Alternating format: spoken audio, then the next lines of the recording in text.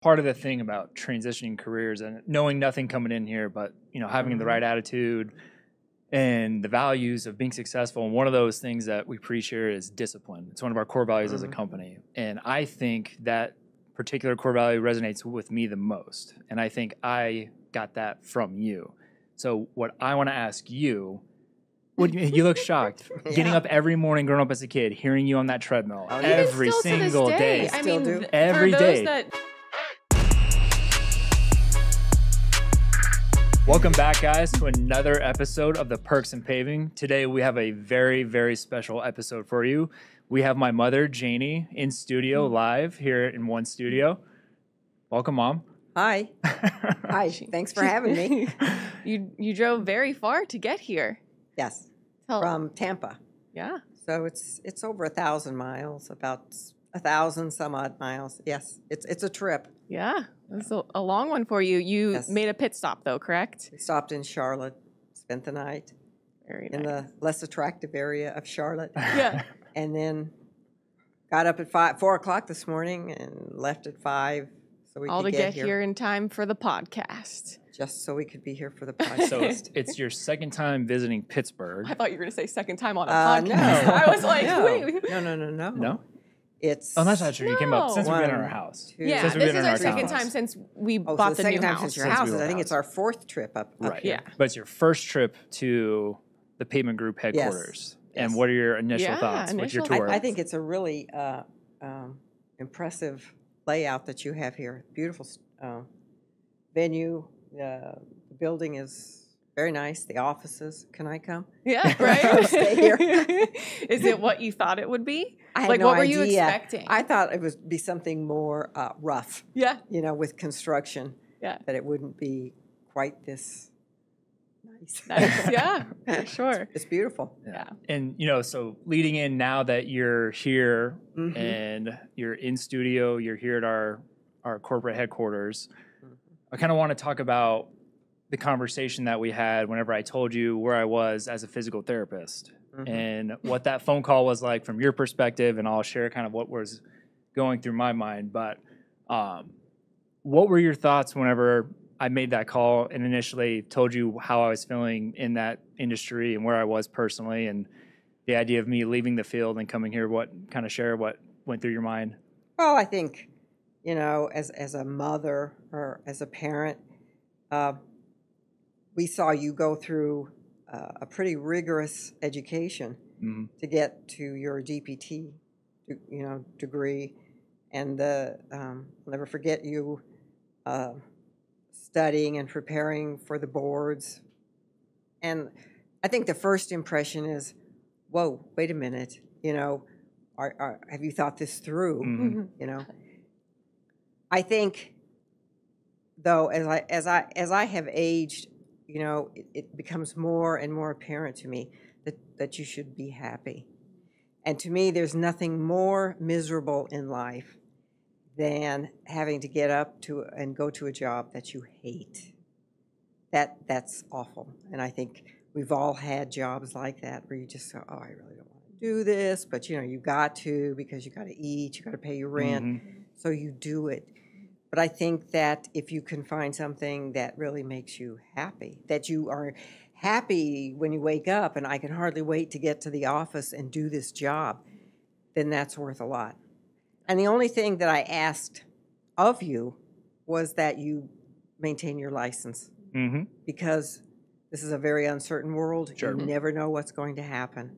And I think that, uh, you know, you should always have a backup plan, which to me in physical therapy, you would always have a very good backup plan. And the same for Paige. for sure. I'm sure your mom and dad went through the same thing when they think of the money that was spent, Mhm. the time, Yeah. you know, edu- in, edu- in in in the classroom and, Mm-hmm. and whatever, and then getting that degree and whatever. I mean, that was the challenge. Yeah. That was a challenge. Mm-hmm. But this is a different challenge. Mhm. You For know, sure. there are a lot of challenges in life, For sure. but I think that you have to, you know, uh, if this is what makes you happy, then Yeah. fine. And this is a great time in your life to do something like this because you have no children. Right.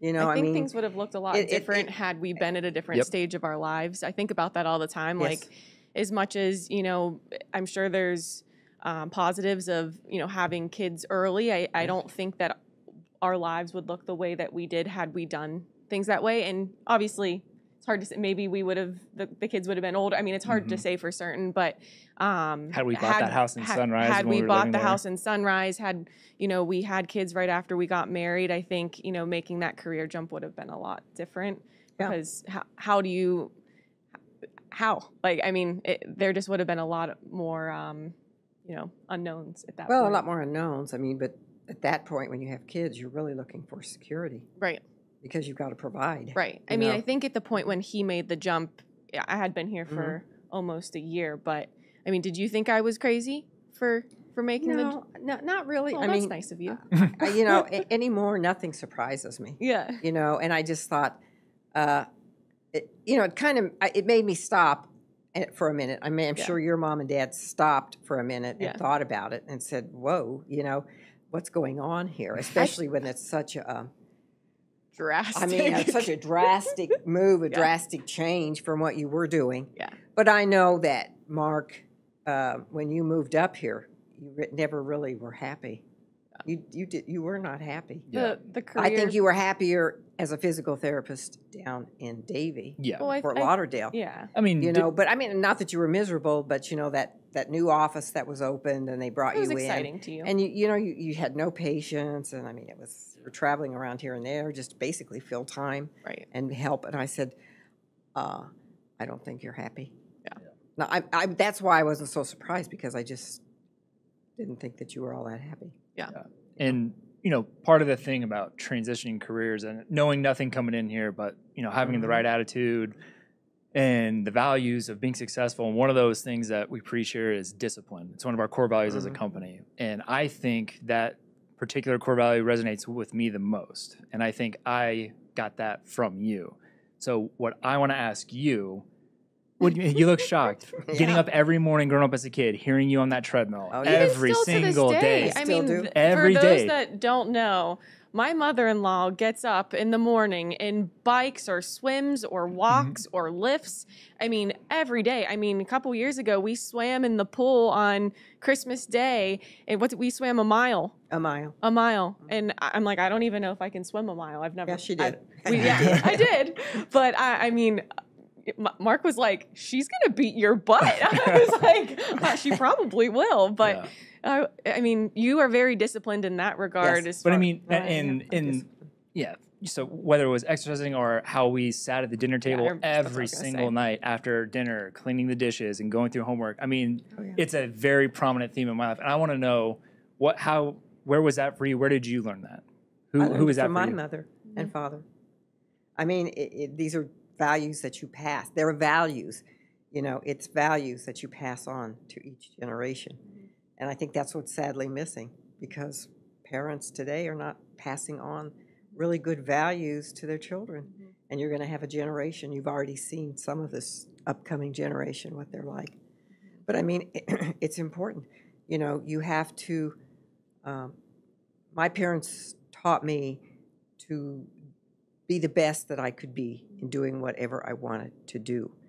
And you do that by being very disciplined and, you know, in, in your case, in going to school, making sure that both you and your brother were well prepared, you know, that uh, you didn't go in with, uh, you know, come out with C's and D's and whatever, you know, just because you're, I, I, I, I- I've always felt that you and your brother were very smart. You're smart guys.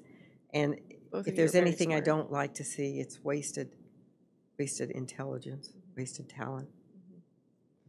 I I love to hear when he tells the stories of you guys sitting at the kitchen Oh, yeah. table and Yeah, reading and you you know going through stuff with them because my mom did the same thing. and, absolutely. um and and it's funny i n- not that um i think i mean you had a lot of siblings too so i mean I, i'm curious to ask my mom the same question if my m- grandma did the same thing for my mom or if it was like in another aspect of life i've never i've never asked her we'll have to get her on the podcast but um but yeah it's it's interesting to me that we grew up in a very similar um you know Yeah. home like time. setting as far as you know, Same kind of discipline and the compatibility Schoolwork between and- us yeah. with like with the similar backgrounds and something like that. Absolutely. Yeah, it, it's, um, I think that um, if you look at kids today, you know, they can't read, Mhm. their math scores are horrible. Why? Mhm. Why?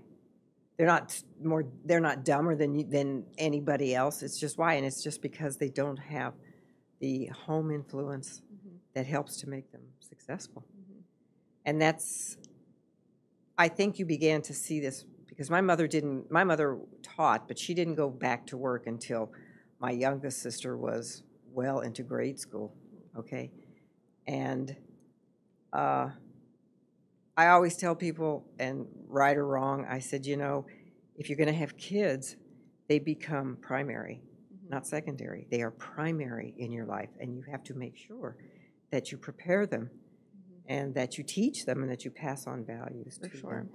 And I mean, I understand people have to eat, they have to pay rent or pay the mortgage. And so now you have two people working in a household Mhm. And they, you, you can't, in my mind, you can't do both equally. It just doesn't work, Mhm. you know? And I gave up a teaching career. Well, that's what I was going to ask you Yes. next. Can you tell us a little bit about your career and what you Well, when I graduated from college, I wanted uh, to travel. I love to travel. Yeah, and, you can. um, You're allowed. So um, I always liked foreign languages. I love to travel. And my parents didn't have a lot of money, and I wanted to study overseas because my major was French, and I wanted to go to France and stay for a year and study. I mean, there was no way because my parents couldn't begin to afford it, and I certainly had no money. So um, I thought, well, when I graduated from college, I also got a degree in education, secondary education. My parents were of a generation that, and I was of a generation that, you know, women were teachers Mhm. or nurses, you know, but not doctors and lawyers and whatever. And I think looking back on that time, it, it wasn't that you couldn't do it, but it was just so much harder to do it. And I never, I had never met a woman doctor. I'd never met a woman doctor till much later in my life.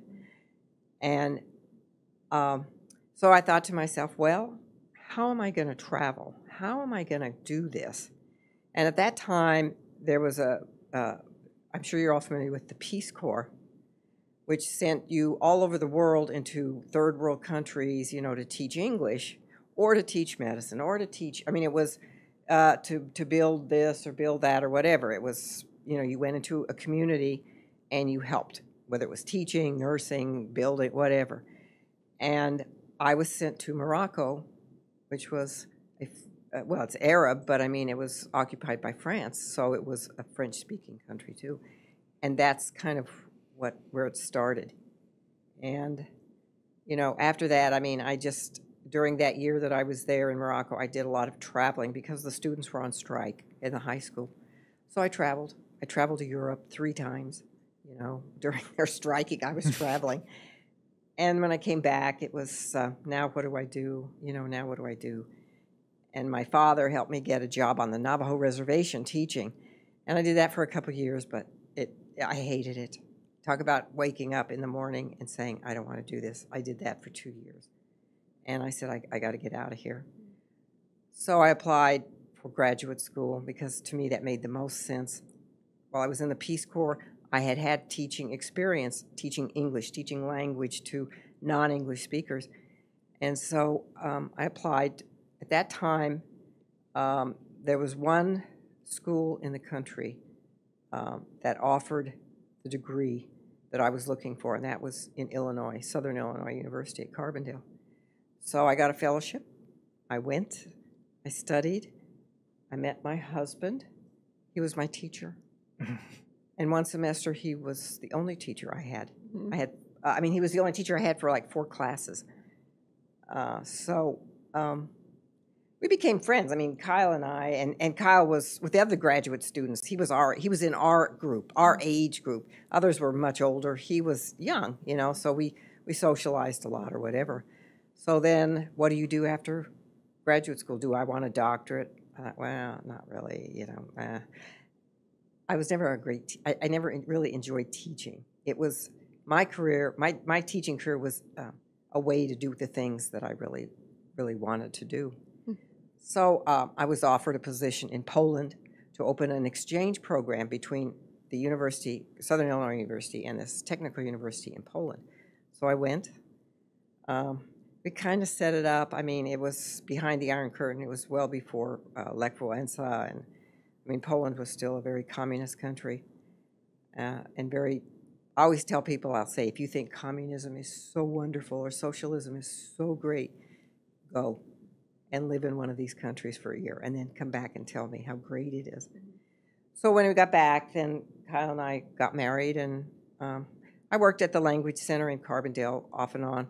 Um, we were we were really destitute. I mean, we had no money, and um, a couple years later, I was pregnant with Mark, and you know, I said, "This is crazy." I said, "We can't, we can't, we don't have any money to do anything. You know, it's all we can do to pay, get food on the table or whatever." So I did go back to work, but my teaching at at the university was, you know, it was like three hours a day or something, so it wasn't too bad, and. Uh, when I got a little bit older, then I went back in full time, and then during that period too, we Kyle took a sabbatical.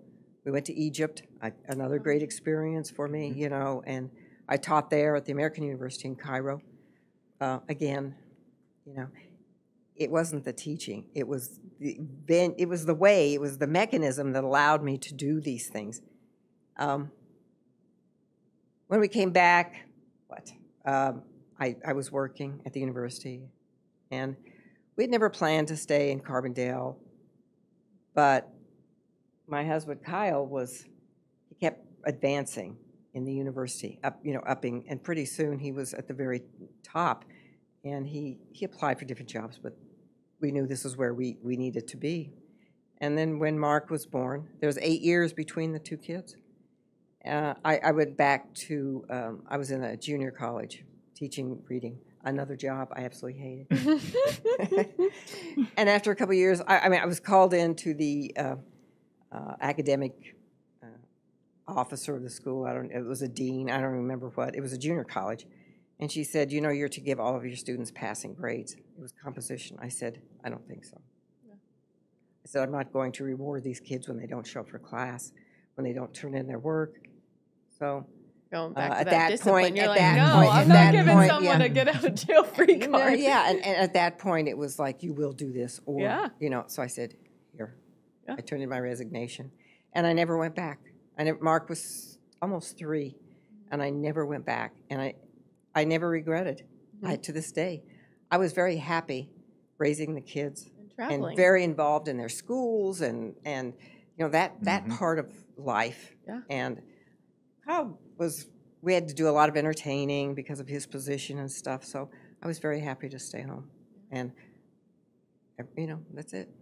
That's it. We've done a lot of traveling since, Mhm. yeah. you know, I was always a lot more to do. growing up as a kid. I mean, Christmas holiday, we either went to Albuquerque or that was our big trip Yes. of the year. Yeah, yeah. Whether if we didn't go to New Mexico to see grandma, Yeah. we would go to Mexico. We would we'd go L.A. It's those were our big trips. Was Christmas Yeah, time. yeah, we travel, we try to, you know, we Mhm. try to. uh, Hawaii, very first And we time. try to, you know, expose them to a lot of different places, Yeah. ideas and things. And, and uh, since Paige has come into our family, you know, we've done some pretty good trips. you know, Yeah. trips to Hawaii. And Two And times I to have- Hawaii. I have a great idea. Kyle and I will celebrate our Well- 50th wedding anniversary in four years. Okay, lay It's it on great. us. Oh, really? Yeah, Yeah. let's Ready? hear it. Breaking news. Yeah, I'm we don't know thinking- what this is. I am so- thinking, don't tell him. Okay. don't tell him. Okay. I'm thinking of a Mediterranean cruise. Okay. You know, um, yeah, yeah, Very nice. yes. Very nice. I mean, we, we decided after our last trip to Hawaii that it would be better if everybody uh, was on a ship. They could eat when they wanted. They Mm-hmm. didn't have, you know, they could do what they wanted. You know, it was just a, a better idea that I, I thought. Mhm. And so he doesn't know yet, but I'll break it to him. I have four, ye- I have, I have four years to do this. That's how most of the trips go, though, right? You plan them and you Oh, just yeah. tell them, like, "Hey, Yeah, we're yeah. going." Yep. So- We're going, we were supposed to go to India Yeah. in November, and um, we had bought a, a prepackage. It was a, a cruise, to uh, the Golden Triangle. We fly into Delhi and we do Jaipur, Agra. We go to the Taj Mahal, and then we would fly down to Mumbai and pick up the ship, and we would go to Goa and then to Sri Lanka and uh, Malaysia and uh, I don't even remember. And we'd end uh, uh, Singapore, and we ended up in Bangkok. Very cool. And then a couple weeks ago, actually about a couple months ago, we got a letter from Viking, and they were very Forgot about worried about the conditions. What conditions? I don't know. Well, I don't know what they're seeing that we don't see, Right. but that they finally canceled the trip a couple weeks ago. Oh. Bummer. And so they you're gonna offered find us a something to fill hundred. tri- I gap? mean, we could switch. You know, we could take any trip we wanted. They would let us. They gave us hundred and ten percent for Okay. another cruise, and we have already planned to go to Antarctica next year. And I thought, well, maybe we should do it now, but there was no, uh, there were no space, Oh. no space for this November. Okay. So we're going to Australia Okay. and New Zealand. We'll be gone about three weeks. Very You know, Very in, fun. and we go in January. This coming Jan- January 2025. jealous. Oh. Yeah, I know. but But it's I, I, So, before no I Hawaii die. trip. No, before I so die. it's funny. Yeah, Ma- Mark goes, yeah, I think Hawaii's like every other year now. I think Yeah. that's like, and I was like, did your mom tell you that? He's like, no, I think that's just like Oh, All right. you that's wish. that's what we do. And I'm like, I oh. guess we'll just have to go by ourselves. Oh, okay.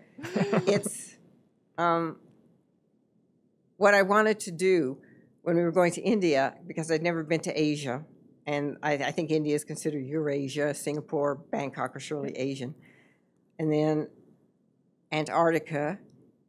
The only thing was how do we get to um, Australia? Because I want to do all of the seven continents. I will have touched all seven of the continents. I'll do it before I die. you will. You I have no doubt. So if anybody wants to go to to Yeah. uh, India again, I do. I, I've got to go to India. So if maybe anyone wants to go, just drop a comment. We'll get you on a trip with Jani. So, Yeah, if somebody wants to go because he hates to go. oh, I just got back from a, a European trip. Uh, it took me to. Um, it was a, a pilgrimage. I felt I needed to get away. I felt that uh, this last year has been very difficult in our family, and I just. Kyle and I had taken a pilgrimage a couple years ago, and it was very nice. And I don't know. I, I think I'm looking for something, Mhm. trying to find something. I don't know. But the last year has been very, very difficult in our family. And so I told him, I said, I just, I just have to, to go, go Mhm. back to some of the places that we were because I enjoyed them. So I flew uh, with a friend to um, Lisbon, in Portugal, and we spent five days in Portugal, which was absolutely beautiful. I would love, I, if I were 50, if I were 40, I'd be in Portugal to would live. live there, yes. And um, if you're Catholic, you're aware of Fatima. And uh, so that was the beginning of the tour. And then we went to Lourdes in southern France again and came back to Barcelona. The greatest contribution, my contribution to our society, are two healthy men who work, who marry, who love, you know what I mean? Two healthy men that aren't on drugs and they aren't this and that and the other. And um, to me, that's it's not how much money you make. It's not how big your house is, because you know, as you approach the end of your life, what money's not going to remember you. The house isn't going to remember you. It's your children. Yep. And what you have passed on to your children, your grandchildren, your great grandchildren. Yep. And that's why I think there's no greater. Um, and people would probably disagree, but in my mind, there's no greater thing that you can do than to, if you're able, to have a child and to raise them, to be good citizens of this country. We need a lot of good citizens of this country right now that we don't have. Sorry. Well, So- we're That's it. really excited to have you back up here. Is there anything on this trip that you want to check out in the city or anything that you had in mind that you wanted to do, that you wanted to share? No, I don't know Pittsburgh very well. You know, we just came to see you guys and give me, uh, we, we brought Paige's birthday gift. And so Drove all the way to. all the way to deliver her birthday gifts. And that's really it. We just wanted to see you because we don't see you very often anymore, which is, I mean, it's sad. Yeah. I mean, when we were living in Davie, it was good.